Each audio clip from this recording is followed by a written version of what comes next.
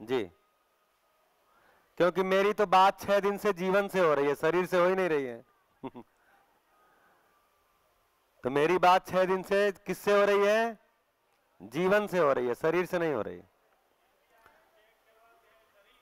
है? हाँ तो उससे पता चलता कि आप भी यहीं पर हैं। शरीर को चेक करते हैं तो पता चलता आप भी यहीं पर हैं। चलिए। बढ़िया। तो देखिए, एक एक रचना क्रम है, जो यहाँ अभी लिखा था, यहाँ अभी लिखा था, उसी को मैं हॉरिजेंटल लिखता हूँ। अस्तित्व में क्या है? जीवन है और परमाणु है, जिसको हम परमाणु बोलते हैं। मतलब जीवन है और ये जो पदार्थ वगैरह है, इनकी मूल इकाई क्या है? परमाणु है। तो परमाणु दो तरह के होते हैं। एक अजीर्ण होते हैं, एक भूखे होते हैं। अजीर्ण यानी जो अपने में से कुछ निकालना चाहते हैं, और भूखे मतलब अपने में कुछ समाना चाहते हैं। ये निकाल के तृप्त होता है, और वो समा के तृप्त होता है। इनकी सारी यात्रा तृप्ति की तरफ़ ही है। परमाणुओं की यात्रा क्या है? तृप्ति की तरफ़। तो ऐसे परमाणु हैं और जीवन है। तो परमाणु का क्या कार्यक्रम है? परमाणु से अणु बनता है। अणु से अणुरचित पिंड। अणु रचित पिंड। और इसके आगे परमाणु और पानी के संयोग से प्राण कोसा बनती है। प्राण कोशा से आगे की रचना, पेड़ पौधे हैं। पेड़ पौधे से आगे की रचना, पशु पक्षी शरीर है।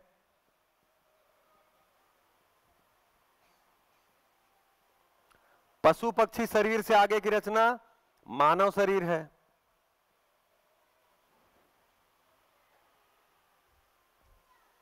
अभी तक इतना ही रचना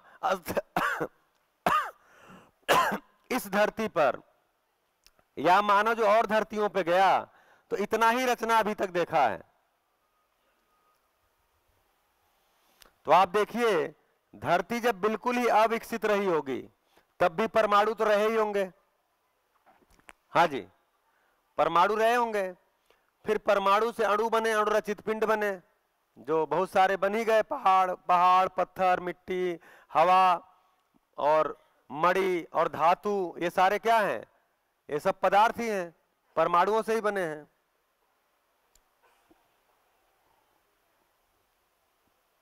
ठंडा पानी। रचित पिंड बने। पिंड का मतलब मिट्टी बना, पत्थर बना मड़ी बना, धातु बना, ये सब पिंड ही है। ऐसा बन गया। फिर आगे की रचना इस धरती पे क्या हुई? तो परमाणु और पानी के संयोग से प्राण प्राणकोशा बनी। अब देखिए रचनाक्रम। धरती पे रचनाक्रम क्या हो रहा है? पानी बरसात हुआ तो गड्ढों में पड़ा रहा। धीरे धीरे कोशिका बनी। कोशिका बनी तो पहले छोटी वनस्पतियाँ बनी, फिर उत्सव पूर्वक स्वतः अस्तित्व में शोध होते हुए पेड़ पौधे बने। पेड़ पौधों के जब पत्ते और तने और पेड़ सड़े गले, सड़ गल के जब वो मिट्टी के संपर्क में आए तो उसमें से कीट पतंगे मुनगे पैदा हो गए। कीट पैदा हो गए। तो कीट पतंगे मुनगे, ये पैदा हुए। ये क्या है? यहाँ से जीवावस्था की शुरुआत होती है। फिर आगे चल के जीव जंतु शरीर बन गए। पशु पक्षी शरीर। और अंत में मानव शरीर बना, और अभी तक इस धरती पे मानव शरीर से आगे की रचना नहीं है। अब ध्यान दीजिए, अस्तित्व में हो क्या रहा है? अस्तित्व में आज तक हुआ क्या है? ध्यान दीजिए। क्या चीज़ उपलब्ध था? परमाणु उपलब्ध था और जीवन उपलब्ध था। जीवन कैसे शरीर को चलाएगा?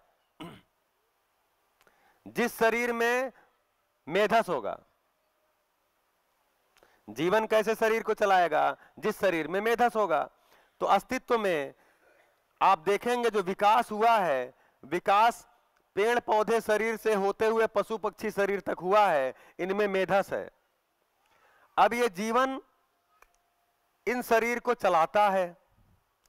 तो अस्तित्व में जीवन भी था, परमाणु भी था, लेकिन एक रचना क्रम में एक समय ऐसा आया कि पशु पक्षी शरीर बने जिससे कि ये जीवन इस शरीर को चला सके। अब इस शरीर को चलाया तो एक शरीर को चलाया, दूसरे शरीर को चलाया तो छोटे बड़े शरीर ऐसे ऐसे चलाते चलाते ये लगा कि वो शरीर इस जीवन के अनुकूल है ही नहीं है। मतलब इस जीवन में क्या है? कल्पनाशीलता है और कर्म स्वतंत्रता है। तो जितने भी पशु पक्षी शरीर बने, उसमें किसी में भी कल्पनाशीलता के अनुसार कर्म स्वतंत्रता हो नहीं सकती। वो डिज़ाइन नहीं बनी। तो अलग अलग डिज़ाइन बनती गई बनती गई बनती गई बनती गई। ऐसा डिज़ाइन बनते बनते बनते बनते, फिर उसमें मानव शरीर का डिज़ाइन बन गया। क्यों? क्योंकि अस्तित्व में जीवन था। पूरा अस्तित्व प्रयोजन के साथ है। अस्तित्व बिना प्रयोजन के नहीं है। तो अस्तित्व में कोई भी रचना बिना प्रयोजन के नहीं हुई है। तो कि जीवन उपलब्ध था तो जीवन के लिए शरीर चाहिए था। तो शरीर के पहले ये सारी रचनाएँ आवश्यक थी। उसके अनुसार फिर ये शरीर बना। इस शरीर में भी बहुत सारे शरीर बनते गए। अस्तित्व में शोध होता गया। जीवन चलाया जीवन चलाया, लेकिन जीवन अपने को व्यक्त नहीं कर पाया। पूरी तरह व्यक्त नहीं कर पाया। तो मानव शरीर बना, जिसमें पूर्ण समृद्ध मेधस होता है। और शरीर की डिज़ाइन एकदम परफेक्ट डिज़ाइन है। जितना चाहे कर्म कर सकता है। तो समझ करके जी सकता है। ऐसा शरीर अस्तित्व में बना। ये पशु पक्षी शरीर के बाद ऐसे शरीर को जीवन चला करके प्रमाणित हो सकता है, ऐसी संभावना अभी तक बनी हुई है। और अगर एक व्यक्ति प्रमाणित हो गया है, अगर नागराज जी बोलते हैं, मैं प्रमाणित हो गया हूँ, या और भी कोई महापुरुष प्रमाणित हो गए इस शरीर को चला के तो संभावना क्या बनती है? हर मानव, हर जीवन ऐसे शरीर को चलाकर अनुभव संपन्न प्रमाणित हो सकता है। इसीलिए अभी तक इसके आगे की कोई रचना आवश्यकता नहीं बनी है।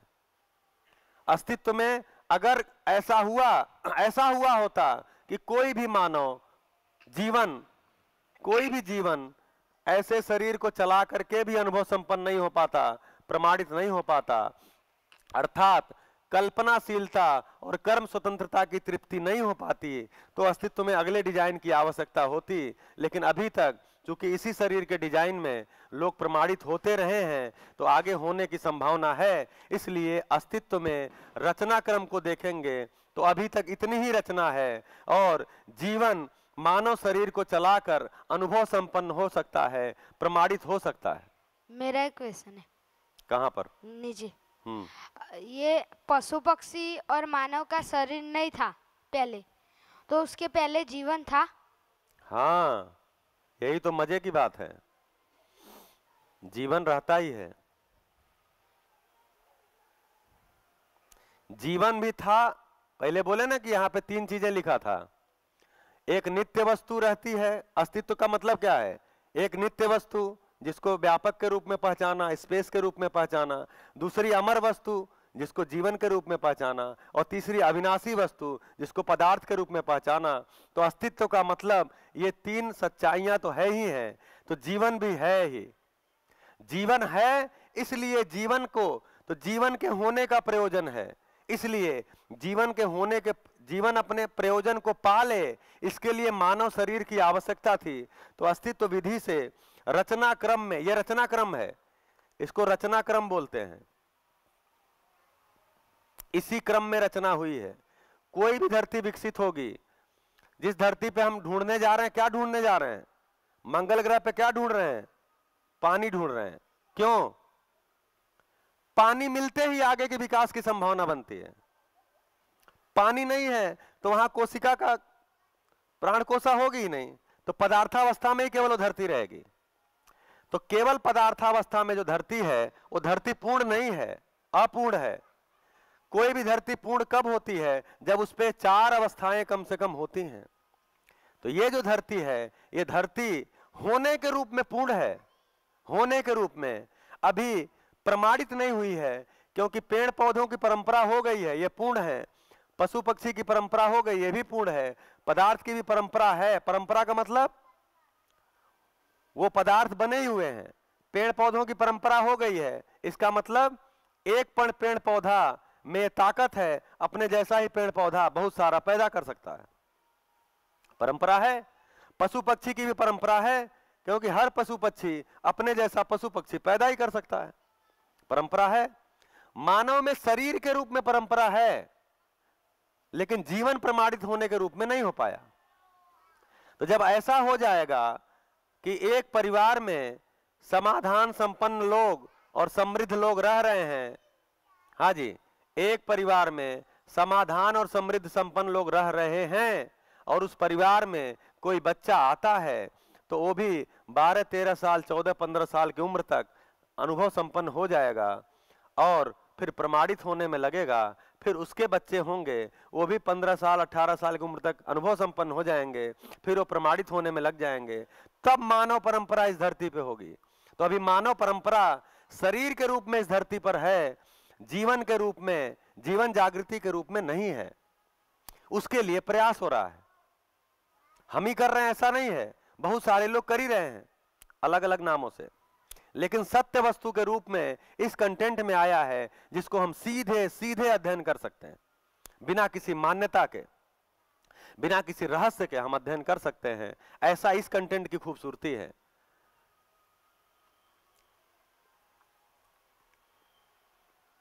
मैंने बहुत सारा,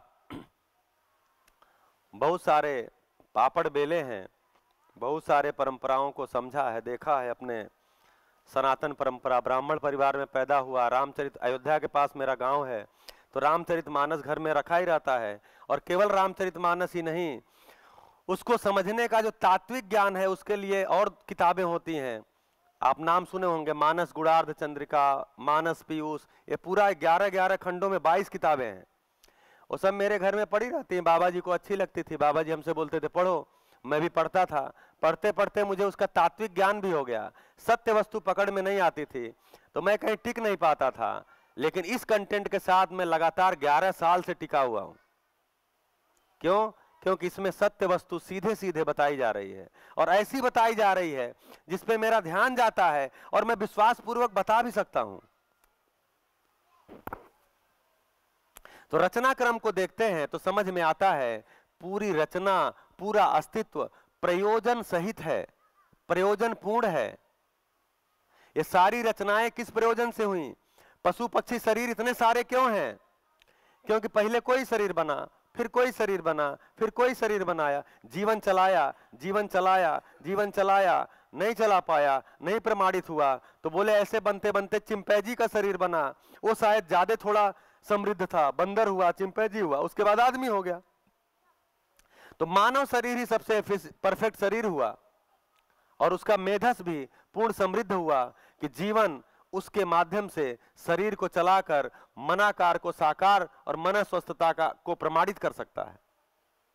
ऐसी संभावना बनी, इसके लिए मानव शरीर धरती पे बना। प्राकृतिक श्रम के कारण प्रकृति में स्वतः श्रम चला। और ये कितने साल चला? तो गिन के भी कोई फ़ायदा नहीं है। देखिए देखिए, शरीर है। हम जब तक, जब जब शरीर मूलक सोचते हैं, शरीर मूलक जीते हैं, तब तक हमारे ध्यान में टाइम रहता है, जबकि अस्तित्व समय से मुक्त है। जो चीज़ नित्य है, उसमें समय का कोई मतलब ही नहीं है। अभी भी जो हमने टाइम बनाए हैं, कैलेंडर बनाए हैं, ये एग्जिस्टेंशियल नहीं है। ये हमने बनाया है अपनी सुविधा के लिए। भाई, हमारे टाइम बनाने के कारण थोड़ी धरती घूम रही है अपने अक्ष पे। नहीं जी, धरती 24 घंटे में घूमती है। ऐसा नहीं है। धरती अपने अक्ष पे घूमती ही है। हमने उसको 24 घंटे में बांट दिया है क्योंकि हमको अपने बहुत सारे काम करने रहते हैं। तो तो टाइम एक सुविधा है। अस्तित्व में टाइम नहीं होता। तो जब जब भौतिक पदार्थ पे हमारा ध्यान जाएगा तो फिर लिमिट में जाएगा, समय पे जाएगा। जैसे ही चैतन्य वस्तु पे हमारा ध्यान जाएगा, जीवन अमर है, इसलिए जीवन को कोई जल्दबाजी नहीं है। जीवन स्वयं में कब होगा? अरे, एक लाख साल बाद ही होगा प्रमाणित तो क्या दिक्कत है? क्योंकि जीवन के स्तर पे टाइम इसीलिए जब शरीर छोड़ देता है जीवन तो आपको लगता होगा कितने दिन में फिर शरीर चलाने लगता है। कोई मतलब ही नहीं है। शरीर छोड़ते ही टाइम का कॉन्सेप्ट ही खत्म हो जाता है। जब मिलेगा, चलाएँगे। अभी चलाने का प्रयोजन इतना ही है कि शरीर के माध्यम से आहार, निद्रा, भय प्रजनन करेंगे। धीरे धीरे पता चलता है, नहीं, शरीर का माध्यम, शरीर जो है, वो समाधान का माध्यम है, आहार, निद्रा, भय प्रजनन का माध्यम नहीं है। तो शरीर मूलक सोच, भौतिक मूलक सोच, ये हमको लिमिट करती है, जबकि अस्तित्व नित्य है नित्य है नित्य है, हमेशा है हमेशा है हमेशा है, जीवन अमर है। अमर है अमर है, जो चीज़ अमर है, उसको टाइम का क्या मतलब है? कौन सी हड़बड़ी है? तो चूँकि हम शरीर केंद्रित सोचते हैं तो हमको लगता है, देखो जी 45 साल उम्र हो गया, अभी ये नहीं किया, अभी वो नहीं किया, अभी अभी तो बेटे की पढ़ाई नहीं हुई, अभी तो बेटी की शादी नहीं हुआ अभी तो उसको नौकरी नहीं लगी, अभी तो वो नहीं हुआ, अभी तो वहाँ मकान नहीं लिया, अभी उस ज़मीन में कुछ नहीं किया। तो शरीर केंद्रित सोच है ये।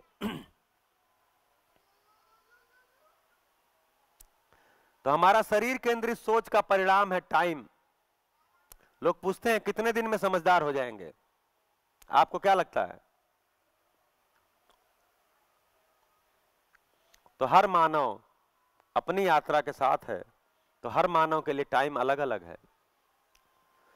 कोई उंगली रख के नहीं कह सकता कि आप आठ साल लगिए, दो साल लगिए और समझ जाएँगे। आप आठ साल लगिए, समझ जाएँगे। कोई ज़रूरी नहीं है। अगर इस उम्र में ध्यान चला गया तो एक दो साल में समझ जाएँगे। लेकिन ध्यान लगा हुआ है तो नहीं लगा हुआ है तो आप जैसे हम लोग पूछते थे हाँ जी माइक दीजिए। हम लोग आदरणीय नागराज जी से पूछते थे जब आपके आपने बोला कि आत्मा अमर है जी। जीवन अमर है तो जीवन का कभी तो अंत आ, आ, आएगा ना? नहीं आएगा? तो जिसको मोक्ष मिला वो क्या चीज़ है? हाँ। बुद्ध तो- जी। ऐसे जो महापुरुष हो गए जिसको हम भगवान बोलते हैं हम्म। उनका मोक्ष हो गया। हाँ। या प्रभु में विलन हो गया तो हाँ। वो चीज़ क्या है? हाँ वो कंटेंट अभी आने वाला है लेकिन फिर भी बोलते हैं। तो हम जब कह रहे हैं कि जीवन अमर है तो उसके पीछे का तर्क क्या दे रहे हैं? कि अक्षय बल अक्षय शक्ति संपन्न है, इसलिए अमर है। मन बुद्धि, मन वृत्ति, चित्त बुद्धि, आत्मा, ये सारे अक्षय बल हैं, क्योंकि मेरे में कल्पनाशीलता अक्षय है, इस आधार पे तर्क बनता है। मैं चाहे जितना विचार कर सकता हूँ, चाहे जितना कल्पना कर सकता हूँ, और कल्पना का ही नाम है, जीवन में ही कल्पना होता है। इस आधार पे तर्क बनता है कि जीवन अमर है, क्योंकि अक्षय बल, अक्षय शक्ति संपन्न है। फिर बोल रहे, मोक्ष क्या है? तो इच्छा विचार आशा बंधन से मुक्त होना। इच्छा विचार आशा बंधन से मुक्त होने का मतलब ही है साक्षात्कार, बोध, अनुभव संपन्न हो जाना। तो मेरे में सुख की निरंतरता हो जाती है। तो मेरे में जब सुख की निरंतरता हो जाती है तो अब मुझे शरीर की आवश्यकता भी नहीं पड़ती, लेकिन जीवन बना ही रहता है। इतना ही है कि अब शरीर की आवश्यकता नहीं पड़ती। क्योंकि मैं शरीर चला ही रहा हूँ समझने के लिए, सुखी होने के लिए।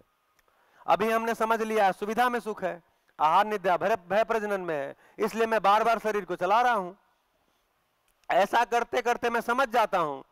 तो समझ की स्थिति का मतलब यह हुआ, मैं अनुभव संपन्न हो गया, प्रमाणित हो गया तो मेरे, मैं आनंद की स्थिति में आ गया, अर्थात मेरे में सुख की निरंतरता हो गई। अब मुझे शरीर चलाने की आवश्यकता ही नहीं है। अब मैं शरीर चलाऊँगा, अपने मौज के लिए चलाऊँगा।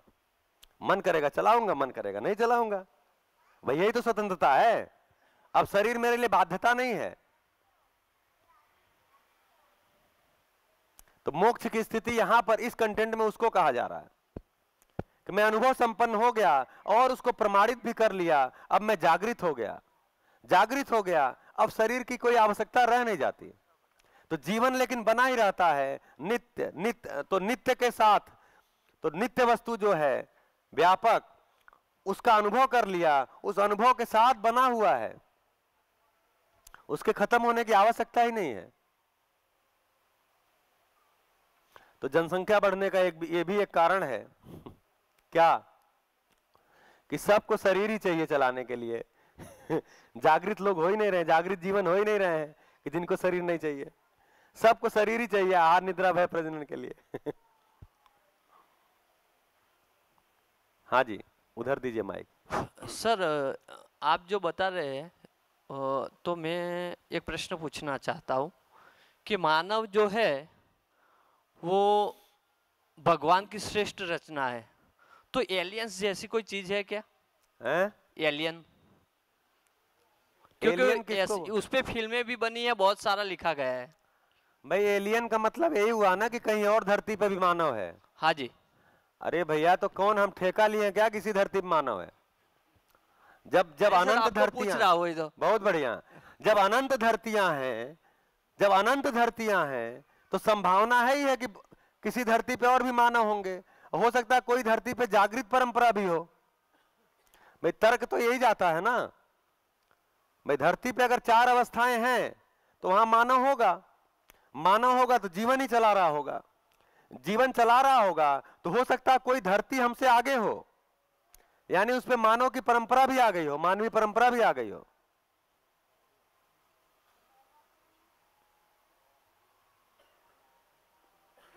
तो एलियन जिनको हम बोलते हैं, उनको यही बोलते हैं कि दूसरे धरती से आया हुआ कोई आदमी तो हो सकता है उसका नाक मुँह हमारे जैसा ना हो।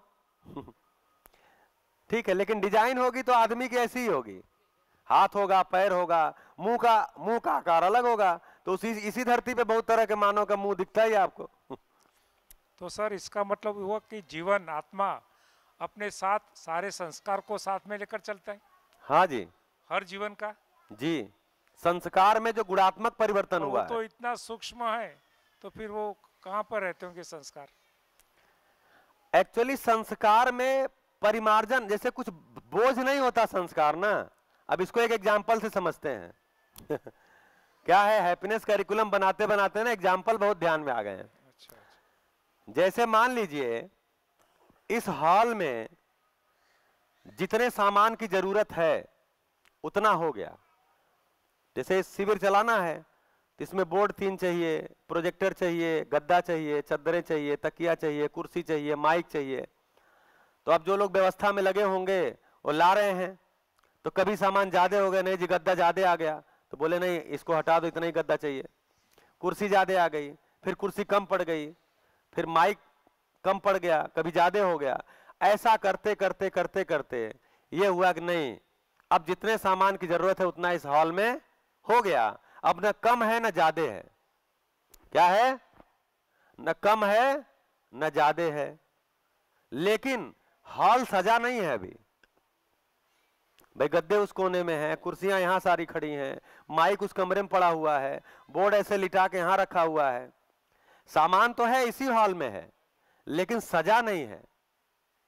जहाँ जिसकी ज़रूरत है, वहाँ लगा नहीं है। तो हम शिविर शुरू नहीं कर सकते। तो क्या करेंगे? अब आगे क्या करेंगे? सामान को व्यवस्थित करेंगे। तो सामान उतना ही है, व्यवस्थित नहीं हुआ है। तो जो जीवन है उसके अंदर जो संस्कार का परिमार्जन का मतलब इतना ही है कि जितना उसके अंदर सामान है, क्रिया है, वो व्यवस्थित नहीं हुई है। तो संस्कार परिमार्जन का इतना ही मतलब है, वो व्यवस्थित हो जाता है। तब बोलते हैं हाँ जी, अब बढ़िया हो गया, अब शिविर चल सकता है। तो जीवन में संस्कार परिमार्जन होता है, संस्कार बढ़ता नहीं है, बढ़ता घटने वाली चीज़ नहीं है। तो मेमोरी नहीं जाती है। हाँ संस्कार से ना लेने मेमोरी इस इस शरीर यात्रा की मेमोरी अगले शरीर यात्रा में मेमोरी तो मेमोरी की आवश्यकता नहीं पड़ती, क्योंकि मेमोरी मेमोरी की ज़रूरत अगले शरीर यात्रा के लिए है नहीं। अब अगर होगी भी तो आप जी ही नहीं पाएँगे। तो नेचुरली ये व्यवस्था है। तो जीवन में जो संस्कार परिमार्जन हो जाता है, जो व्यवस्थित हो जाता है, वो अगले शरीर यात्रा में साथ में जाता ही है। तो संस्कार परिमार्जन होता है। संस्कार में बढ़ोतरी नहीं होता। क्योंकि जीवन के अंदर तो फिक्स है, दस क्रिया ही है। चाहे वो भ्रमित है, चाहे जागृत है है उसमें दस क्रिया ही। यही क्रिया पूर्णता होनी है। क्रिया पूर्णता ही होनी है कि दस क्रिया पूर्ण हो जाए। उसके लिए अंदर संस्कार परिमार्जन है। यानी केवल गद्दे को ठीक जगह बिछाना है, बोर्ड को ठीक जगह लगाना है, माइक को ठीक जगह रखना है कैमरे को ठीक जगह रखना है प्रोजेक्टर को ठीक जगह रखना है जिससे कि हॉल में घुसते ही आपको भी अच्छा लगे। तो जीवन के अंदर दस ही क्रिया है। तो संस्कार परिमार्जन का मतलब ये दस क्रिया शुरू हो जाना व्यवस्थित हो जाना। इसलिए वो बोझ नहीं होता। इसमें कर्म सिद्धांत काम कार्य करता है। गीता में बोला है ना कर्म सिद्धांत। वो तो बोल ही रहे हैं ना कि मानव मनाकार को साकार और मन स्वस्थता का आशावादी है। तो मानव कर्माभ्यास और व्यवहाराभ्यास करता है। कर्माभ्यास जो करता है, कर्माभ्यास करते करते नियम को समझता है। नियम को जब समझ लेता है, अर्थात नियम का अनुभव हो जाता है तो नियम पूर्वक जीने लगता है। व्यवहाराभ्यास मानव के साथ करता है। करते करते मूल्यों को समझता है, मूल्यों का अनुभव हो जाता है तो मूल्य पूर्वक जीता है। मान लो कि कोई नियम पूर्वक जी रहा है तो क्या उसका मोक्ष हो जाएगा? मोक्ष हुआ है तभी नियम पूर्वक जी रहा है। अच्छा पहले से मोक्ष और क्या? मैं एक दिन बोला था मोक्ष पूर्वक ही जीता बनता जीते बनता है। मोक्ष पूर्वक का मतलब यही हुआ कि मैं आशा बंधन विचार बंधन इच्छा बंधन से मुक्त हो गया। किससे युक्त हो गया? इसको दूसरी बार जन्म लेना पड़ेगा वो बोलते हैं। हैं? उनको दूसरी बार जन्म लेना पड़ेगा। अगर अनुभव संपन्न नहीं हुए हैं तो लेना ही पड़ेगा। क्योंकि जीवन का प्रयोजन अनुभव संपन्न होना, दस क्रिया पूर्ण होना। अगर अनुभव संपन्न नहीं अनुभव संपन्नता का मतलब ही मोक्ष है। इच्छा, विचार, आशा और जागृति, परंपरा, वो तो मैं पहले बोल दिया, जो आप कह रहे हैं, जन्म नहीं लेना है। वो पहले बोल दिया, अगर मैं प्रमाणित भी कर चुका अपने अनुभव को, जो कुछ भी समझा था, उसको जी के प्रमाणित भी कर दिया तो कोई ज़रूरी नहीं है मैं शरीर चलाऊं। फिर मेरी मौज है। तब मैं शरीर चलाऊँगा भी तो समाज के लिए चलाऊँगा। अपने लिए आवश्यकता खत्म। उसी कंटेंट पे आते हैं। चलिए, उसी कंटेंट पे आ जाते हैं, क्योंकि तब प्रश्न सेटल उत्तर सेटल होगा। तो अभी ये क्या क्या बात थी? अस्तित्व को देखा कि अस्तित्व प्रयोजन के साथ है। अस्तित्व में जितनी रचना हुई है, वो प्रयोजन के तहत हुई है, क्योंकि अस्तित्व प्रयोजन विहीन नहीं है। अस्तित्व में सारी रचना प्रयोजन के साथ हुई है, इसलिए बहुत तरह के शरीर बने हैं। क्यों? क्योंकि अंततः मानव शरीर बनना था। क्यों? क्योंकि जीवन अस्तित्व में उपलब्ध था। जीवन उपलब्ध था, जीवन जागृत होना चाहता है। जीवन जागृत होना चाहता है तो शरीर को ही चलाएगा, ज्ञानेन्द्रियों से समझेगा, कर्मेंद्रियों से कर्माभ्यास करेगा, व्यवहाराभ्यास करेगा तो जागृत हो पाएगा। इसके लिए मानव शरीर अस्तित्व में स्वतः श्रम से बना है। एक विकास क्रम में बना है इसको रचना क्रम भी बोलते हैं इसी को विकास क्रम भी बोलते हैं। हेलो। हाँ जी। कहाँ पर? हाँ। जब मनुष्य का जन्म नहीं होता है तब भी जीवन होता है। जी। तो उस वक्त वो जीवन किस स्वरूप में होता है कहाँ होता है? ये तो लंच के पहले हुआ था थोड़ा सा। क्या? जीवन वहीं रहता है। कहीं जाता आता थोड़ी है। सभी जीवन अलग अलग है? हाँ अलग अलग है। तो वर्ल्ड की पॉपुलेशन है मेरे हिसाब से 2000 साल में सिक्स अबज होती थी। हम्म। आज एट अबज हो गई। तो दो अबज वो जीवन का थे उस वक्त। अभी दो अबज जीवन आ गए तो उस ये मेरा सवाल है। अरब बोल रहे हैं ना दो अरब। हाँ। हाँ जी। हाँ। क्या बोले भैया? अबज मतलब है अबज मैंने अरब? हाँ अरब। जी मिलियन सिक्स मिलियन पॉपुलेशन थी। अच्छा। अब वर्ल्ड की पॉपुलेशन एट मिलियन हाँ छह सौ करोड़ थी अब आठ सौ करोड़ हो गई है। हाँ। हाँ। तो तो तो शरीर दो- बढ़े हैं ना। 2000 की साल में वो 20 अबज जीवन कहाँ थे? वो जीवन ऐसे ही थे अस्तित्व में। इसी हाल में करोड़ों होंगे क्या दिक्कत है? देखिए जीवन बहुत ही सूक्ष्म है ना। उसको कोई बहुत जगह थोड़ी चाहिए। लेकिन वो इंडिविजुअल है तो नेक्स्ट जनरेशन टू जनरेशन वो अपना अस्तित्व बनाए रखते हैं। नहीं समझा। वो वो वो मानस मानव का मृत्यु होता है। हाँ। तो फिर से मानव ही होता है। हाँ ज़्यादा संभावना यही है। तो एक बार जीवन बन गया तो वो जीवन वो मानव ही रहता है ऐसा हो गया ना तो। जीवन का मतलब जीवन बन गया सा थोड़ा सा ये होता है ना जीवन बन गया। जीवन भी है परमाणु भी है। पदार्थ भी है और पर इसीलिए बोला कि अस्तित्व में नित्य वस्तु है अमर वस्तु है और अविनाशी वस्तु है।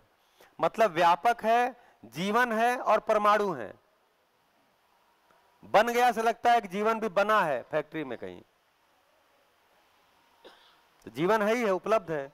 कितना है? तो देखिए, शरीर के माध्यम से जीवन प्रमाणित होना चाहता है, अनुभव संपन्न होना चाहता है, उसके लिए शरीर को चलाता है। और अगर अगर जीवन प्रमाणित नहीं होता रहा तो जनसंख्या बढ़ेगी और क्या होगा? लेकिन प्रमाणित जीवन निकलते रहे, उनको शरीर चलाने की आवश्यकता ही नहीं पड़ेगी, स्थिर हो जाएगा। ये इसके लिए फर्टिलाइजेशन की ज़रूरत पड़ती है या अपने आप उत्पन्न होते हैं? वो अक्षय बल अक्षय शक्ति संपन्न है। मतलब जिसके पास, जिसका बल और शक्ति खत्म ही नहीं होता, कम ही नहीं हो रहा, जरा सा भी कम नहीं हो रहा तो उसको क्या फर्टिलाइज़र लगेगा, क्या खाना लगेगा? तो जीवन के लिए खाना पीना नहीं है, वो भाव है, भाव रूप में है। शरीर के लिए खाना पीना है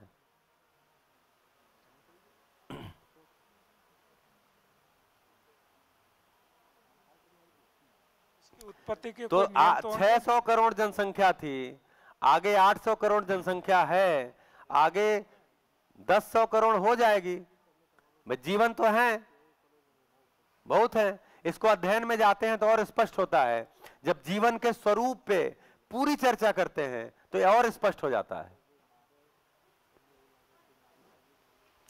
तो जीवन कितना रहेंगे धरती पे जितना आवश्यकता रहेगी उतना रहेंगे। मतलब अस्तित्व में सब कुछ प्रयोजन के रूप में है ही है। तो जीवन भी प्रयोजन सहित है। तो जित हाँ जी। मैं वो बोल रहा हूँ कि जंगल में शेर और बाघ उनकी संख्या और हिरण की संख्या। हिरण ज़्यादा ज़्यादा संख्या में बढ़ते हैं और शेर और वो कम संख्या में। तो वो नियंत्रण कौन करता है? स्वतः नियंत्रण है। हाँ? स्वतः नियंत्रण है। स्वतः नियंत्रण है। अच्छा अच्छा। नेचुरली नेचर में सब कुछ नियम यहाँ लिखा था नियम नियंत्रण संतुलन। नियम है, नियम ही नियंत्रण है, उसके कारण संतुलन बना हुआ है। ये सही बात है। हम कहते हैं कि बाघ हिरन को खाता है। तो अगर बाघ हिरन को खाता है तो किसकी संख्या कम हो जानी चाहिए? हिरन की। लेकिन बाघ हिरन की संख्या खत्म ही नहीं हो रही है। पर्याप्त है। बाघ की संख्या कम है। अब देखिए नेचर में नियंत्रण, कि बाघ की संतानें कम पैदा होती हैं और हिरन की ज़्यादा होती हैं क्योंकि बाघ उनका आहार है तो नेचर में उनका आहार उपलब्ध है। वो कोई कोई अलग चीज़ है जो नियंत्रित करती है? नियंत्रित मतलब फिर वही जाता है ना फिर वो चीज़ जो है उसको कौन नियंत्रित करता है? सृष्टि का जो संचालन करता है ऐसी ऐसी तरह से। तो सृष्टि का जो संचालन करता है फिर उसका संचालन कौन करता है? फिर प्रश्न आगे बढ़ जाएगा। इसलिए तर्क क्या कहता है तर्क क्या कहता है कि पूरी सृष्टि नियम से है, नियम से है। नियम स्वयं में नियंत्रण ही है और नियम नियंत्रण पूर्वक संतुलन है। और क्या? नियम नियंत्रण पूर्वक संतुलन है। भाई, पेड़ बढ़ता है, उसमें फूल आता है, फल आता है, वो नियम है, वही नियम है।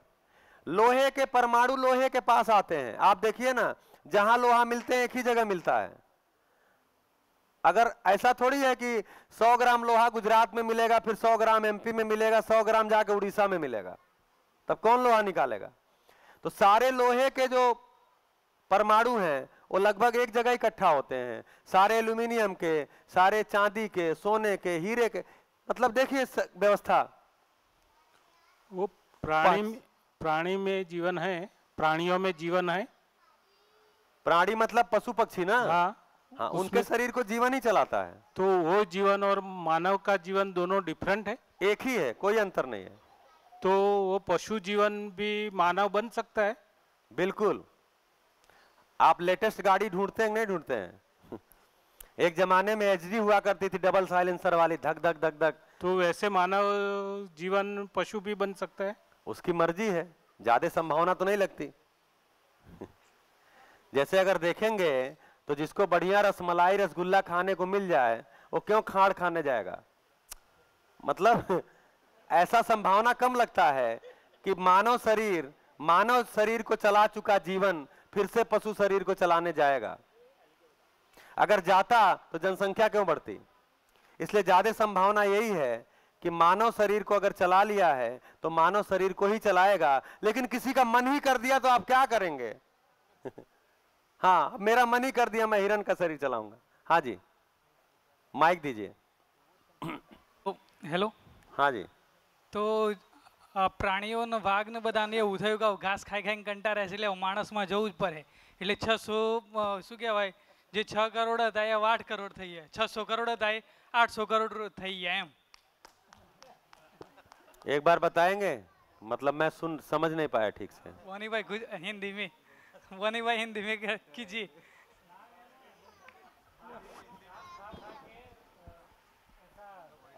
उसको अच्छा फील नहीं हुआ तो अभी वो मनुष्य में आ गया इसीलिए छह करोड़ से आठ सौ करोड़ बनी ठीक है मतलब ऐसी कल्पना दौड़ ही सकती है। मानव कल्पनाशील है कल्पना दौड़ा सकता है।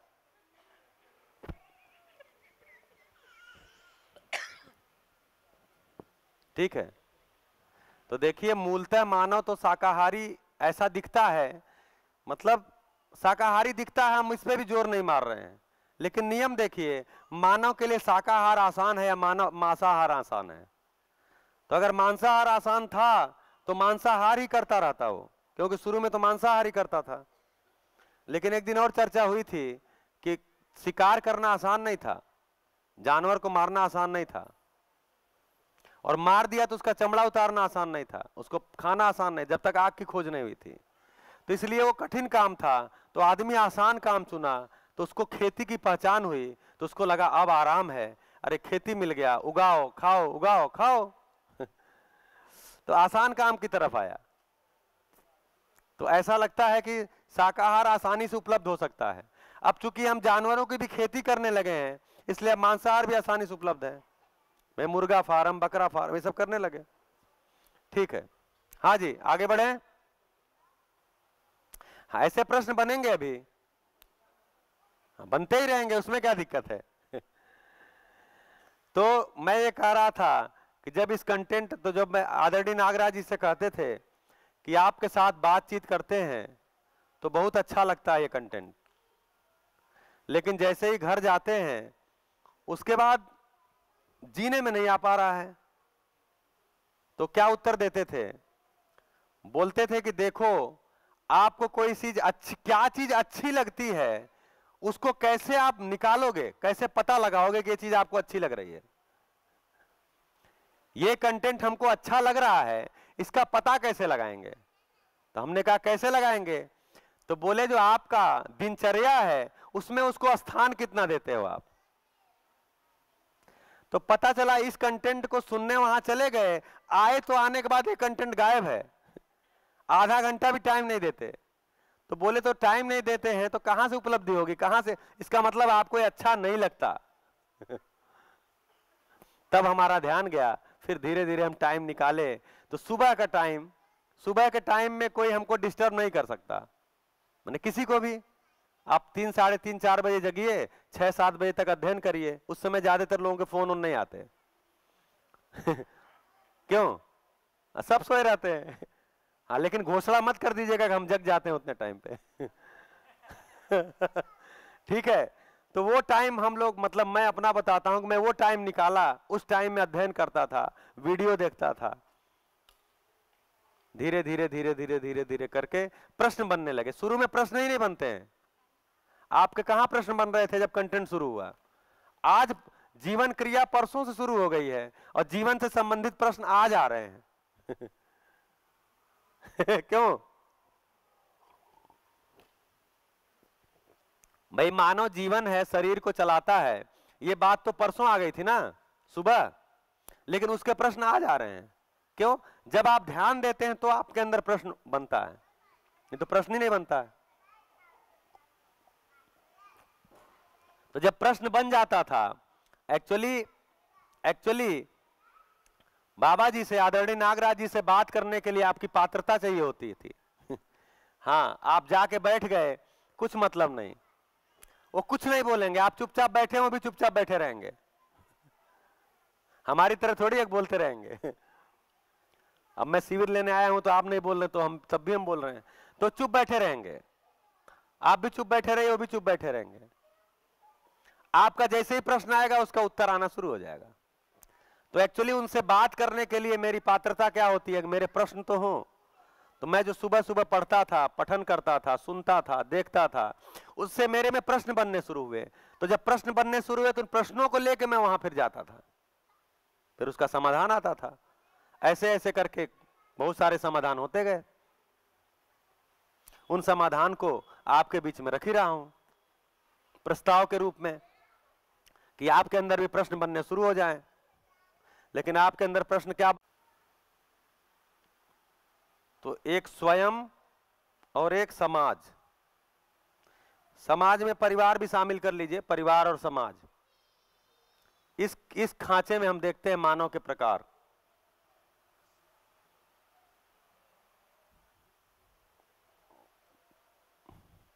तो कुछ लोग आपको ऐसे मिलेंगे हाँ जी? कुछ लोग ऐसे मिलेंगे जो स्वयं स्वयं स्वयं स्वयं स्वयं स्वयं स्वयं। समाज के बारे में कुछ भी नहीं। यानी मेरी सुविधा पूरी होनी चाहिए। मेरी सुविधा पूरी होनी चाहिए। समाज से कोई मतलब नहीं, बल्कि समाज से और हड़प लो, खींच लो। ऐसे लोग आपके आसपास हैं? बहुत हैं। आप कैसे हैं? दूसरा आपको ऐसे लोग भी मिलेंगे जो खुद के लिए ही सोचेंगे। समाज के लिए न्यूट्रल हो जाएँगे। शोषण नहीं करेंगे खींचेंगे नहीं लूटेंगे नहीं लेकिन समाज के बारे में बहुत उनका हाँ तो इसको हमारे यहाँ कहावत कही जाती है मस्त राम मस्ती में आग लगे बस्ती में। हाँ, मतलब समाज के बारे में सोचते नहीं। लेकिन समाज से कुछ लूटने की कोशिश में भी नहीं लगे रहते आजकल इन्हीं को अच्छा बोलते हैं। ठीक। तीसरा, ऐसे लोग जो अपने बारे में, यानी अपनी भी आवश्यकता होती है और समाज की भी आवश्यकता होती है, ऐसा दोनों बैलेंस बनाते हैं। परिवार और समाज का। ऐसे लोग भी दिखेंगे। अगर नहीं दिखे होंगे तो आगे हो सकता दिख जाए। आगे क्या संभावना बनती है? अपने लिए बहुत कम, समाज के लिए ज़्यादा।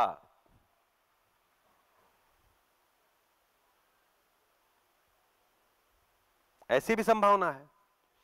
आगे एक और संभावना बनती है, अपने लिए कुछ नहीं, शरीर भी नहीं, सब कुछ जो है वो समाज, मानवीय परंपरा के लिए।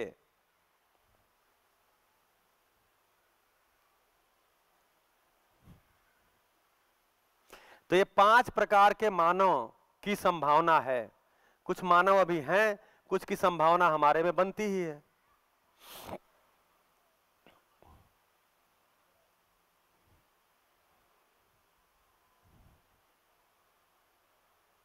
इन पाँचों का नाम है।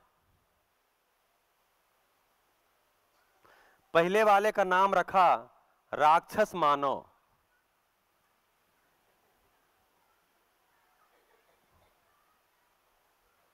हाँ मतलब अपनी सुविधा के लिए जो दूसरों को नुकसान पहुँचाए, क्षति पहुँचाए।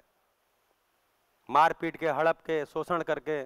कई लोग हाथ पैर से नहीं मारते, बड़े अच्छे, उदार से दिखते हैं, लेकिन वो शोषण कर रहे होते हैं।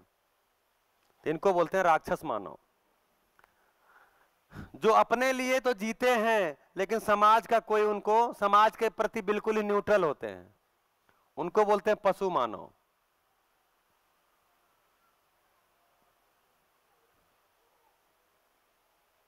तीसरा, अपने लिए भी उतना ही सोचते हैं, समाज के लिए भी उतना ही सोचते हैं, इनको बोलते हैं मानव, या मानवीयतापूर्ण मानव।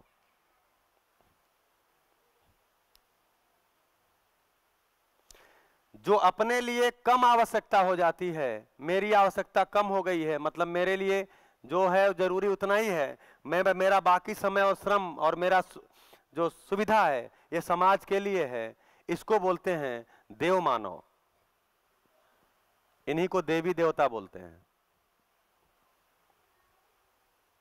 और जिनको अपने लिए कुछ भी नहीं चाहिए, यहाँ तक कि शरीर भी नहीं चलाना है, जीवन रूप में ही प्रेरित करना है, प्रेरणा प्रदान करना है। जैसे जैसे हम सभी कोई काम कर रहे होते हैं तो कभी कभी लगता है कि मेरे में कहीं से प्रेरणा आई है। तो जीवन भी भाव है, दूसरा जीवन भी भाव है तो प्रेरणा आती है। उस रूप में होते हैं, इनको बोलते हैं दिव्य मानव, इन्हीं को मोक्ष बोलते हैं, मोक्ष वाले मानव।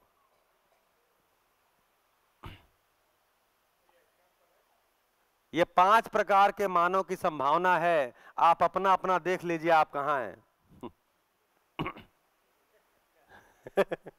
हाँ हमको मत बताइएगा, अपना देख लीजिए। अपना देख लीजिए। हाँ जी, और ये जो राक्षस मानव हैं, जिनको हम राक्षस मानव, इन दोनों को मिला के अमानव बोलते हैं।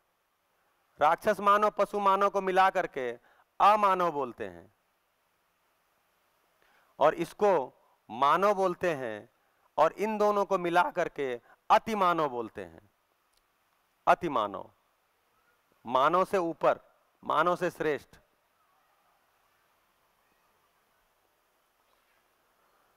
तो ये जिनको हम राक्षस मानव बोल रहे हैं, यही वास्तव में ज़िंदा भूत प्रेत हैं। तो मेरे अपने चौवालीस साल की उम्र में जिस भूत प्रेत के बारे में सुना था, वो तो नहीं मिले, लेकिन ये वाले भूत प्रेत हमेशा मिले, आज भी उपलब्ध हैं।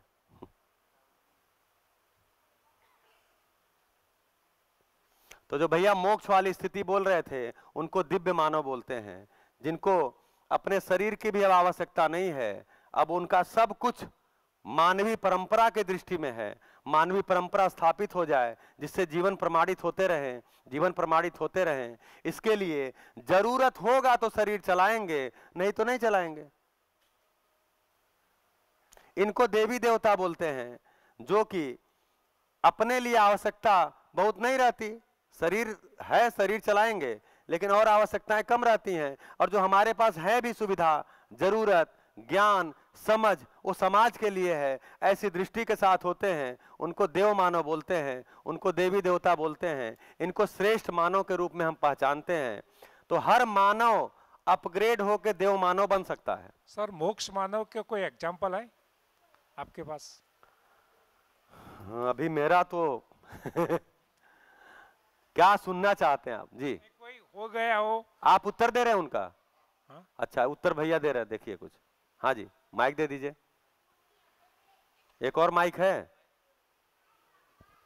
नहीं एक माइक तो आप पकड़े रहिए क्योंकि संवाद कैसे होगा? हाँ जी। एक्चुअली मैं संवाद तो आ, शायद नहीं कर पाऊँगा लेकिन जो समझ पड़ी है मीन्स हम्म। सात दिन में उसको आ, बता रहा हूँ। पहला प्रश्न था उनका पहले जब वो बोले तब कि जीवन मीन्स तो मुझे समझ में आया है तब तक तो जीवन आ, कैसे कि कोई रूप नहीं है। हाँ। वो सब भाव है। हम्म, तो वो अनन्य है। मीन्स कोई उसका रूप नहीं है तो हम उसको कैटेगराइज नहीं कर सकते कि ये है ये है ये है ये जीवन था ये जीवन था। लेकिन जब सोचते हैं हम जैसे कि राम अवतार, मीन्स वो जीवन था। उसका आज भी वो सब मानते हैं कि चलो, ये जीवन है। मीन्स राम जो जी रहे थे, वो जीवन है। उसके उसके रास्ते पे चलो, गांधी जी के रास्ते पे चलो, वो सब जीवन ही है। वो अच्छे जीवन है, वो और जो नहीं लोग मानते, वो भ्रमित है। एक्चुअली वो जीवन ही है। जीवन का कोई ऐसे दूसरी तरह से देखा जाए तो दिखता ही नहीं कुछ। यानी बढ़िया है। तो मैं जो अ, मेरा जो आपने जो पूछा था हाँ। तो मैंने एक जीवन देखा है आदरणीय नागराज जी।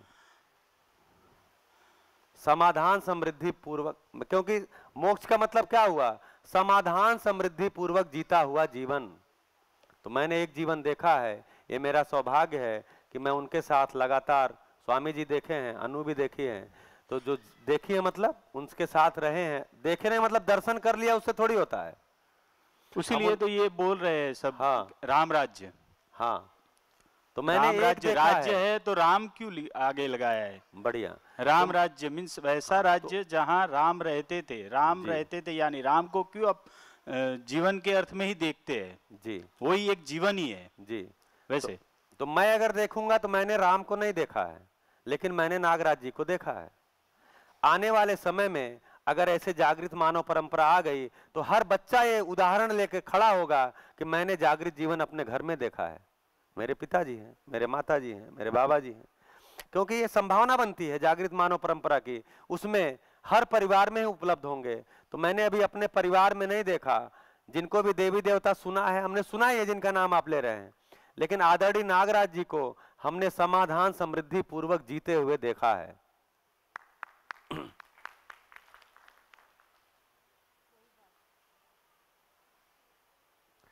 मतलब क्या ज़बरदस्त मानो, एक ही कार्यक्रम। पहली बार गए, वही बात। दूसरी बार गए, वही बात। तीसरी बार गए, वही बात। हमें आकर्षण क्या हुआ? क्या आदमी है? एक ही कार्यक्रम, एक ही योजना, एक ही कार्यक्रम, एक ही योजना। इतनी कंसिस्टेंसी कंसिस्टेंसी एक आदमी के अंदर। इतनी निष्ठा। तब पता चला जी, मानवीयतापूर्ण ज़िंदगी के लिए तो वही कार्यक्रम है, वही योजना है। उसको ही लेके बात करना और इतना विश्वास पूर्वक करना और स्वयं समाधान के लिए उपलब्ध रहना और समृद्धि पूर्वक जीना। पूरी ज़िंदगी बताया, पूरी ज़िंदगी उन्होंने दान चंदा नहीं लिया। कभी भी दिया है तो समृद्धि पूर्वक जिया।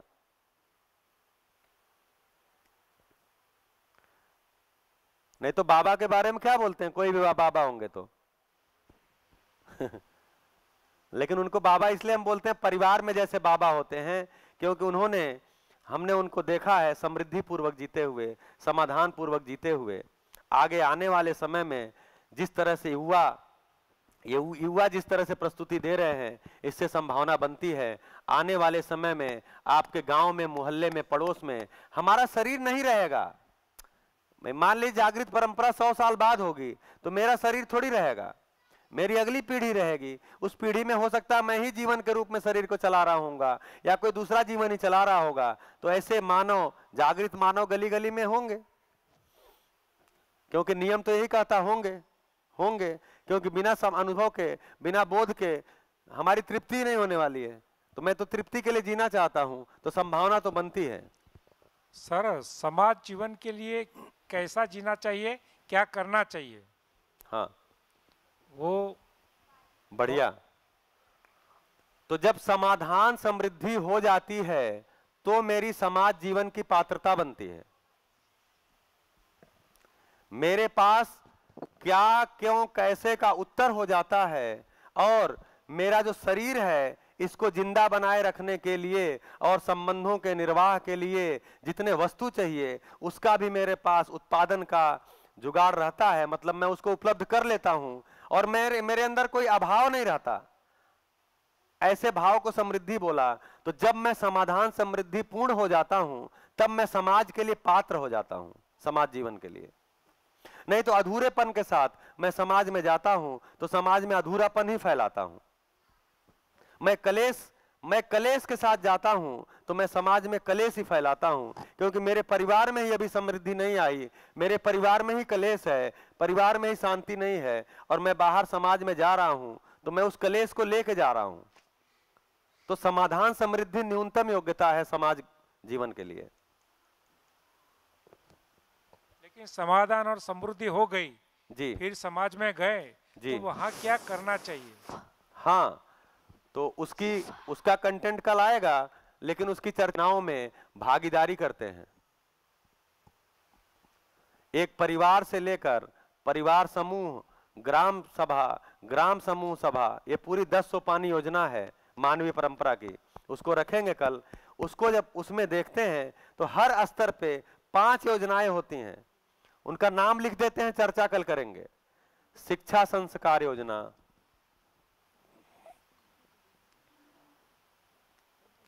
स्वास्थ्य संयम योजना।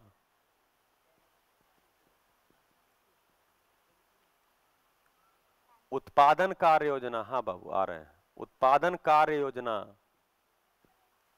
न्याय सुरक्षा योजना। और विनिमय कोष योजना। ये पाँच योजनाएँ होंगी जागृत परंपरा में। मतलब नियम पूर्वक ऐसा लगता है। इन पाँचों में से किसी भी योजना में मैं भागीदारी करने के लिए जाता हूँ और उसके लिए मेरा परिवार मुझे मुक्त करता है कि आप जाइए किसी योजना में गाँव की गाँव की, क्षेत्र की, मंडल की, राज्य की, राष्ट्र की, अंतरराष्ट्र की योजना में आप भागीदारी करिए। आपकी समृद्धि घर में सुरक्षित है, सुनिश्चित है। मतलब आपकी दाल रोटी घर में सुनिश्चित है। तो रोटी, कपड़ा, मकान घर में सुनिश्चित है। आप जाइए, गाँव के स्तर पे, राज्य के स्तर पे, राष्ट्र के स्तर पे, अंतरराष्ट्र के स्तर पे आप अपनी भागीदारी करिए। तो इस पाँच योजनाओं में से, जिस योजना के योग्य मैं खुद को पाता हूँ, उसमें भागीदारी करने के लिए जाता हूँ। तो जागृत मानव परंपरा में हर स्तर पे पाँच ही मंत्रालय की आवश्यकता होगी। क्योंकि बाकी सारी चीज़ें समाधान समृद्धि में मानव खुद हैंडल कर लेगा। तब समाज कल्याण मंत्रालय की आवश्यकता ही नहीं पड़ेगी। तो समाधान समृद्धि पूर्वक जीते हुए मानव की परंपरा में बहुत सारे मंत्रालय कम होंगे, ये पाँच मंत्रालय होंगे, यही मंत्रालय गाँव में भी होंगे, यही मंत्रालय देश के भी होंगे और यही मंत्रालय दुनिया के भी होंगे। इसकी चर्चा कल करेंगे डिटेल। इसकी चर्चा कल करेंगे। समाज में, अभी समाज में व्यवस्था आया नहीं। अभी तो क्या हुआ? अभी क्या आया? स्वयं में व्यवस्था। इसकी बात किया। दूसरा, परिवार में व्यवस्था। तो संबंध और मूल्य आया। उसके बाद अस्तित्व में व्यवस्था आ गया। थोड़ा सा उल्टा क्रम हमने किया, क्योंकि अस्तित्व में व्यवस्था पहले रख देने से फिर बाकी व्यवस्थाएँ स्पष्ट हो जाती हैं। और प्रकृति में व्यवस्था तो है ही है, पता ही है। इसमें थोड़ा सा रूप, गुण, स्वभाव, धर्म की कल चर्चा कर लेंगे और एक व्यवस्था बचती है, समाज में व्यवस्था। उसकी चर्चा करेंगे तो ये पाँच योजनाओं की चर्चा करेंगे और ये पाँच योजना किस किस स्तर पे होंगी उसकी चर्चा करेंगे। तो चीज़ें पूरी स्पष्ट हो जाएँगी कि मानवीय परंपरा क्या होगी। बहुत बढ़िया। आपका ध्यान तो जा रहा है। अच्छा आपने चूँकि समाज जीवन जी रहे हैं, इसलिए आपका ध्यान जल्दी जाता है। तो मेरे यहाँ मेरे यहाँ उत्तर प्रदेश में एक उत्तर प्रदेश बीजेपी, भारतीय जनता पार्टी का अध्यक्ष हुआ करते थे। डॉक्टर, आप भी उसी पार्टी से है ना? रमापति राम त्रिपाठी जी। आप जानते होंगे शायद। आजकल सांसद हो गए हैं वो। डॉक्टर रमापति राम त्रिपाठी। वो अब, अभी इस बार देवरिया से सांसद हो गए। पिछली बार उनका बेटा था तो बेटे ने किसी विधायक को जूता उता मार दिया। बहुत वीडियो आप लोग के पास आया होगा। हाँ तो वो टिकट नहीं मिला तो उनके पिताजी को मिला, रमापति राम जी को। तो वो प्रदेश के अध्यक्ष थे तो मेरे रिश्ते में भी आते हैं। तो एक बार वो आए और हमने उनसे चर्चा किया। तो चर्चा किया तो बोलते हैं, इस, बताओ इस किताब में से मेरे लायक कौन सी किताब है? तो हमने कहा, जीवन विद्या एक परिचय पढ़िए। बोले, नहीं नहीं, मैं तो राजनीतिक हूँ, मैं तो समाज जीवन जीता हूँ। तो हमने कहा, देख लीजिए। तो क्या किया कि एक मानवीय संविधान सूत्र व्याख्या एक किताब है। कि जब भी मानवीय परंपरा होगी तो उसमें मानवीय संविधान सूत्र वाक्य व्याख्या क्या होगी? मतलब वो संविधान नहीं है, मानवीय संविधान सूत्र व्याख्या क्या बोले, ये दे दीजिए हमको। हमने कहा, ठीक है, ले जाइए। दो महीने बाद मिले, बोले, वो अपनी किताब ले जाओ, हमको कुछ समझ में नहीं आ रहा है। क्योंकि जब तक, अब आप देखिए ना, जीवन समझ में आएगा, मानव समझ में आएगा, तब तो मानवीय संविधान समझ में आएगा, तब तो सूत्र समझ में आएगा। तो ये आठ दिन आप सात दिन लगा रहे हैं, तब आपकी पात्रता बन रही है कि आप कोई पुस्तक पढ़ पाएँगे। सीधे ही आपको कोई पुस्तक दी जाए। एक हमारे मित्र हैं, गोरखपुर यूनिवर्सिटी में साइकोलॉजी के प्रोफेसर हैं। तो वो बोलते हैं कि हमारे लायक क्या किताब है? हमने कहा, आप पहले शिविर कर लीजिए। तो अब प्रोफेसर को आप बोलिए कि आपको समझ नहीं है तो थोड़ा अच्छा उनको नहीं लगेगा। तो मैं बोला था ना कि वकील और शिक्षक, ये भ्रमवश अपने को विद्वान मानते हैं। हाँ। तो उन्होंने कहा, नहीं नहीं, किताब बताइए कोई अपना। तो हमने कहा, देख लीजिए, इतनी सारी किताबें हमारे इस ग्रंथ हैं। तो देखे तो वो एक किताब है, मानव संचेतनावादी मनोविज्ञान। तो बोले, मैं साइकोलॉजी का टीचर हूँ, मैं ये ले जाऊँ? हमने कहा हाँ भैया, ले जाइए। ले गए। अब उसमें जीवन क्रिया पे, एक एक क्रिया पे पाँच पाँच पेज में बात की गई है। एक एक क्रिया, जो दस क्रिया है, ये दस क्रिया 122 तरह से व्यक्त होती है। इस दस क्रिया को समझने के लिए 122 आचरण समझना पड़ता है। उसके लिए वो पुस्तक है। उसके लिए हम लोगों ने एक महीना बाकायदे अध्ययन किया। उसके बाद घर पे आकर के माथा लगाया। तो धीरे धीरे धीरे धीरे चीज़ें स्पष्ट होती हैं। तब आपके लिए सरल होता है बताना। उदाहरण रखना। अब उसमें उस उस मानव संचेतनावादी मनोविज्ञान में वही चीज़ है। 122 आचरण। ले गए। क्या हुआ? वो भी दो तीन महीने बाद वापस कर दिए, बोले कुछ पल्ले नहीं पड़ा। तो एक्चुअली जिस तरह से हम जी रहे हैं, उसी में हम, उसी परिभाषा से हम जब किताब पढ़ने जाते हैं, जैसे जय बता रहा था कि कोई किताब इसने उठा, मानव व्यवहार दर्शन, उठा लिया पढ़ने के लिए, फिर रख दिया, फिर पढ़ा हुआ है। तो एक्चुअली जब तक, अब आठ दिन में क्या होता है कि बहुत सारी शब्दों की परिभाषा हमको मिल जाती है। अब हम उस परिभाषा में उसको देखते हैं तब हमको पकड़ में आने लगता है। हम शिविर भी नहीं करेंगे, हम, हमको क्या समझाओगे? लेकिन किताब दे दीजिए, हम पढ़ेंगे। तो किताब तो दर्शन है ना? दर्शन की एक फिक्स परिभाषा होती है, जैसे आप बता रहे थे कि आपके पास एक कंटेंट है जिसकी फिक्स परिभाषाएँ दी हुई हैं। तो अब इस दर्शन को समझने के लिए इसकी परिभाषा को समझना पड़ेगा। तो हर दर्शन को समझने के लिए उस दर्शन के शब्द वही हैं। देखिए, शब्द उतने ही हैं। चाहे कोई दर्शन प्रयोग करे, उस दर्शन को समझने के लिए उसकी परिभाषा संहिता को पढ़ना पड़ता है। तो मध्यस्थ दर्शन को, इस कंटेंट को भी समझने के लिए इसमें भी परिभाषा संहिता लिखी गई है। तीन हज़ार शब्द हैं उसमें। उसकी परिभाषा की गई है। उस परिभाषा को समझते हैं, लेकिन कम से कम परिचय शिविर जब कर लेते हैं तो बहुत सारी शब्दों की परिभाषाएँ, क्योंकि परिचय शिविर में शब्द को केवल परिभाषा के रूप में नहीं रखा जाता, बाकायदे उदाहरण के साथ आपको स्पून फीडिंग कराई जाती स्पून फीडिंग समझ रहे हैं? छोटे हाँ? छोटे बच्चे को चम्मच से दूध पिलाया जाता है। गिलास नहीं उसके अंदर मुँह में लगाते क्यों? उसको लगता है। हाँ मतलब वो गिलास से करेंगे तो सब गिर जाएगा। और उसके मुँह में एक बूंद भी नहीं जाएगा। तो चम्मच से धीरे धीरे पिलाते हैं। उसको दूध भी मिल जाता है। तो क्या होता है, शिविर में स्पून फीडिंग कराई जाती है।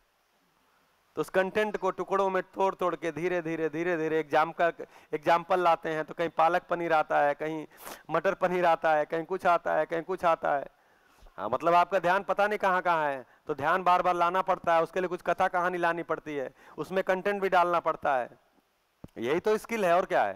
नहीं तो कंटेंट तो ये शिविर है, आपको शिविर एक किताब छाप के दे दिया जाए, आप पढ़ लीजिए। तो इसलिए तो इस कंटेंट को लाएँगे कल। सामान्यतः शिविर में कंटेंट केवल इतना ही आता है, लेकिन दस सौ पानी व्यवस्था भी रख देंगे थोड़ा सा उसके बाद इस कंटेंट को रखेंगे तो समाज में व्यवस्था पकड़ में आएगी, समझ में आएगी। तो अभी कितना कंटेंट हुआ? मानव निरंतर सुख पूर्वक जीना चाहता है, स्वीकृति के भाव में जीना ही सुख है।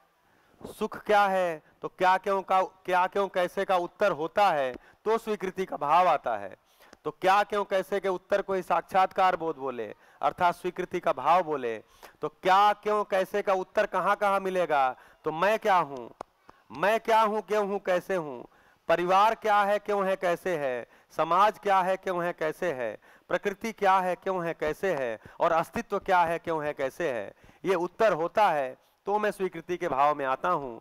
तो अभी जो कंटेंट हुआ है, स्वयं में व्यवस्था को समझना, परिवार में व्यवस्था को समझना, प्रकृति में व्यवस्था को समझना अभी एक एक क्रम में नहीं हुआ है, लेकिन इसके बाद बार बार हुई है और एक कंटेंट बच गया है। और अस्तित्व में व्यवस्था को समझना, वो भी आज किया, अस्तित्व सह अस्तित्व है, रूपात्मक और अरूपात्मक का अस्तित्व है। व्यापक वस्तु है, उसमें उसमें सारी इकाइयाँ डूबी भीगी घिरी हैं। व्यापक से कोई इकाई मुक्त नहीं है। व्यापक में ही है और व्यापक इकाई में भी है। इकाई व्यापक में है और इकाई में भी व्यापक है। ऐसा अस्तित्व समझ में आया। अस्तित्व सह अस्तित्व है। एग्जिस्टेंस इज़ को एग्जिस्टेंस ये समझ में आया।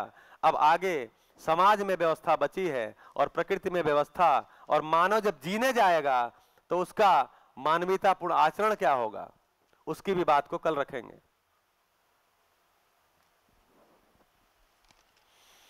बढ़िया? बहुत बढ़िया। हाँ माइक में बोलो। काव्या। क्या लगता है समझने जीने की चीज़ है? और आसान है कठिन नहीं है? बहुत ही आसान है। क्योंकि कंटेंट इतना कम है देखिए ना। स्वयं परिवार समाज प्रकृति, अस्तित्व। स्वीकृति के भाव में जीना, स्वीकृतियाँ क्या है? मूल्य ही स्वीकृतियाँ हैं। मूल्य कितने हैं? तो आपके सामने अभी 22 मूल्य आ चुके हैं।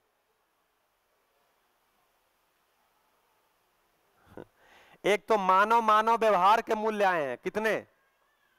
18 नौ स्थिति में और नौ शिष्टता में, गति में। 18 और जीवन मूल्य भी आपके सामने आ गया है। तो मूल्य क्या होते हैं? व्यवहार के मूल्य, मानव मानव व्यवहार के मूल्य, और मानव मूल्य, और जीवन मूल्य, और प्रकृति मूल्य। तो अभी हमने क्या किया है? मानव मानव व्यवहार के मूल्य, और जीवन मूल्य। जीवन मूल्य क्या है? सुख, शांति, संतोष, आनंद ही जीवन मूल्य है। मूल्य का मतलब उपयोगिता। तो जीवन की उपयोगिता क्या है? तो जीवन सुखी हो, शांत हो, संतोष हो, आनंद हो तो जीवन मूल्य। तो अभी आपके सामने आपके सामने 22 मूल्य आए हैं, बाकी जो आठ मूल्य और बचे हैं, वो भी कल आ जाएँगे। तो यही तीस स्वीकृतियाँ हैं। बस, तीस स्वीकृति हो गई और अस्तित्व सह अस्तित्व है। यह स्वीकृति हो गई तो आप स्वीकृति के भाव में आ गए। लेकिन अभी क्या है?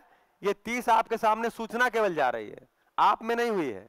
जिस क्षण हो जाएगी, आप अनुभव संपन्न हो जाएँगे, स्वीकृति के भाव में आ जाएँगे। तो कंटेंट बड़ा नहीं है, इसलिए संभावना है मानव समझ सकता है और जी सकता है।